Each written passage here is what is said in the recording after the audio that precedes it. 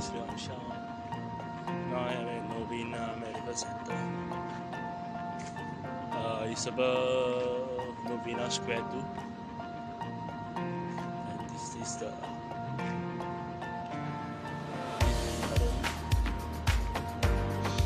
and Novena Medical Center.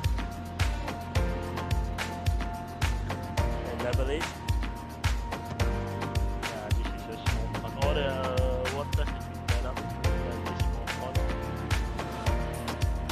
Have